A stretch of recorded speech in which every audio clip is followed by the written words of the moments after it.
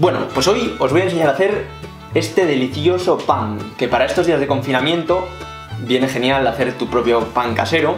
Fijaos, yo he cortado un trocito, fijaos qué pinta tiene, ¿vale? Qué esponjosidad.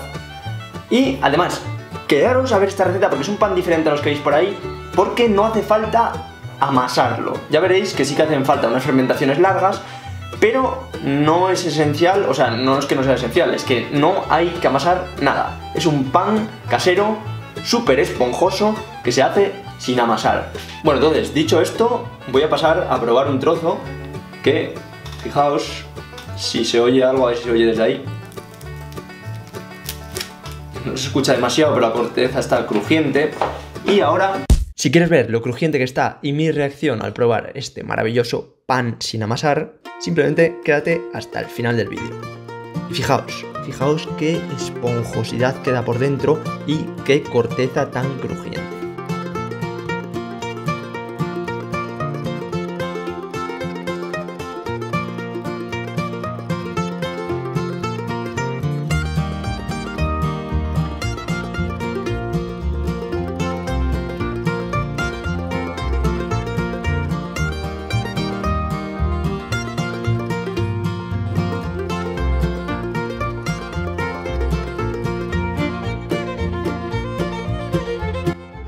Entonces, aquí tenemos todos los ingredientes que, como siempre, en la descripción del vídeo, donde pone ingredientes, hay un enlace que si pincháis, los veréis todos en sus cantidades exactas. Aunque os voy a enseñar a hacer un pan que no es necesario andar midiendo todo. Yo os doy las cantidades, pero os diré cómo hacerlo para que quede perfecto sin que tengáis una báscula para medirlas exactas.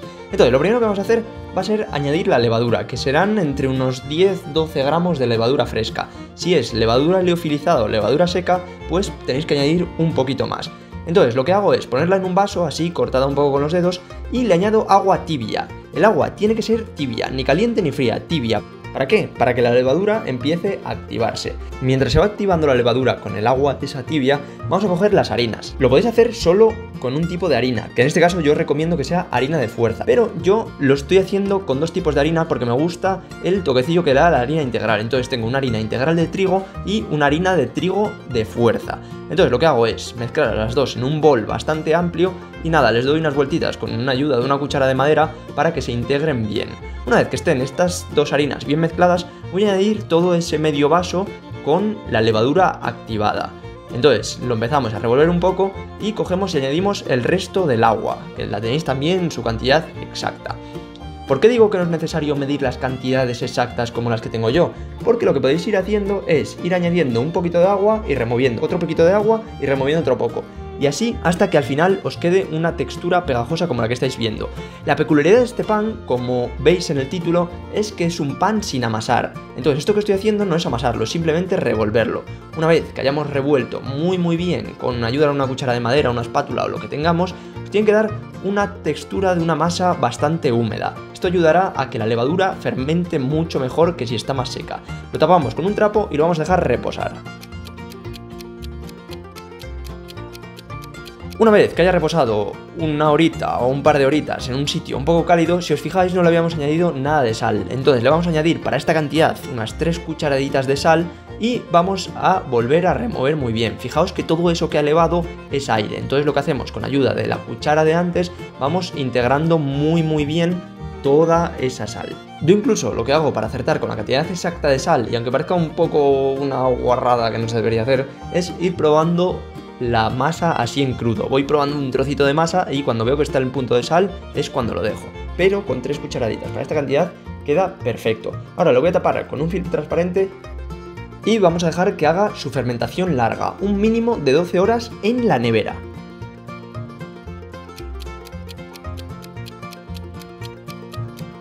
Una vez que han pasado las 12 horas, como veis, ha elevado muchísimo esta masa, incluso en frío esta masa leva, ¿por qué? Porque es una masa bastante húmeda y tiene un puntito más de levadura que otras masas. Entonces, como veis, despego el papel, se me ha pegado un poco la masa al papel film, pero me vale para enseñaros la telilla del aire que ha hecho por dentro la fermentación. Entonces, una vez que está bien despegado el papel, vamos a coger y con ayuda de nuevo de la cuchara vamos a remover muy bien la masa. Recordad que no estamos amasando, simplemente estamos removiendo muy bien para quitar el aire y acabar de integrarla toda.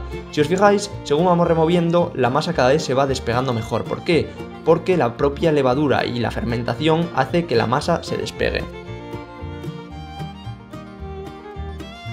Entonces, ahora va a ser el momento ya de irnos a una encimera y cubrirla muy bien de harina. Como la masa está bastante húmeda, aceptará todavía una cuanta cantidad de harina. Entonces la vamos a añadir ahí y repito, no vamos a amasar. ¿Por qué? Porque amasar significaría que tendríamos que estar aquí unos 15 minutos dándole caña hasta que estuviera la masa bien consistente. Nosotros lo que vamos a hacer es añadir harina a la encimera, harina por encima de la masa y darle unas vueltitas, como estáis viendo, ¿vale? Simplemente así, unas vueltas para quitarle muy bien todo el aire. Veis que al principio se os pegará un poco como está pasando a mí, pero poco a poco, según le damos unas vueltas y le vamos añadiendo más y más harina, pues veremos que se pega menos. En este caso, repito, no pasa nada por añadirle bastante harina. ¿Por qué? Porque tenemos una masa muy húmeda, ¿vale? Y queremos que coja el resto de la harina que le queda. También quiero matizar que esta harina que le estoy añadiendo es harina extra a la cantidad que os pongo en los ingredientes del vídeo. Entonces vamos con el tercer reposo o la tercera fermentación. Para ello lo tapamos de nuevo con un trapo y lo dejamos ahí una media horita. Como veis, esto es una masa que no necesita amasado, pero sí que necesita bastantes reposos, porque los reposos hacen que al fermentar se vaya amasando y se le vaya quitando esa humedad que tiene. Entonces, como veis, cada vez costará menos amasar. Volvemos a darle otras vueltecillas para quitar el aire y en un minutillo, sin amasar, repito, sin amasar, simplemente mezclando, tendréis algo parecido a esto que veis aquí. Una masa que ya no se pega absolutamente nada a las manos y tiene esta forma y todavía está bastante húmeda por dentro. Entonces la cogeremos haremos una bola bien tensa y la pondremos en una bandeja de horno con un papel de horno para que no se pegue. Y yo lo que estoy haciendo ahora es meter un poco los bordes para que se tense muy bien toda la superficie y nos haga una corteza perfecta. Entonces lo que vamos a hacer es el último reposo, lo volvemos a tapar con el trapo y lo dejamos ahí otros 30 minutillos.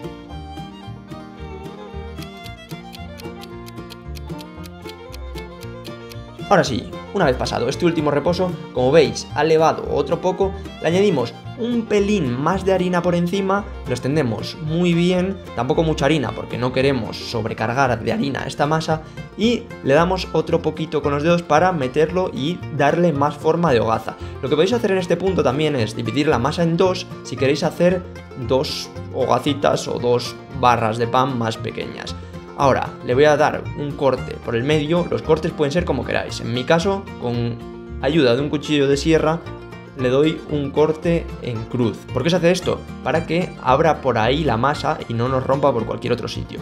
Entonces ahora será el momento de llevarla al horno. Como veis yo tengo un horno muy muy malo, entonces si vosotros tenéis un horno de los normales de casa, pues os quedará mucho mejor. Si tenéis uno de leña, quedará ya perfecto. Lo que estoy haciendo es añadir un poco de agua en la superficie del horno. Una vez que veamos que empieza a crear humedad y el horno estando a tope de temperatura y solo con la parte de abajo caliente, es decir, lo ponemos al máximo de temperatura, pero solo por la parte de abajo. Metemos la bandeja con el pan abajo de todo, recordemos que el horno tiene que tener humedad y lo vamos a dejar ahí unos 10 minutillos. Una vez pasados esos 10 minutos, bajamos la temperatura a unos 200 grados, ponemos ya el calor por arriba y por abajo y colocamos la bandeja en el medio del horno. Entonces, una vez pasada esta hora, que una hora de cocción es para esta cantidad que yo os dejo, esta es la hogaza de pan. La dejaremos reposar un poquito para que pierda toda la humedad en una rejilla y ahora fijaos cómo se escucha el corte de este pan casero.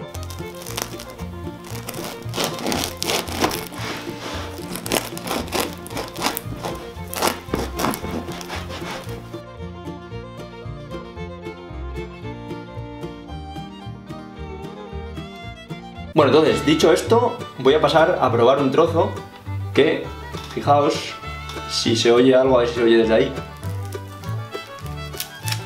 No se escucha demasiado, pero la corteza está crujiente. Y ahora...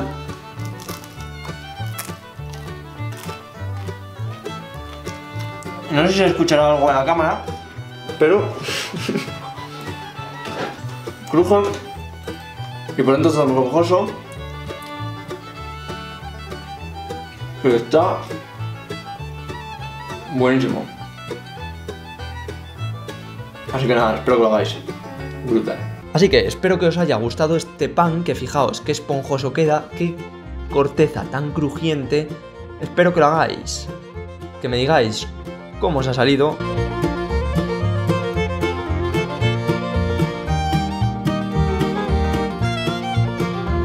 Y si yo lo podido hacer en mi horno, que os prometo que es malísimo, cualquiera lo puede hacer en un horno normal. Así que, como siempre y una vez más, nos vemos en la próxima receta.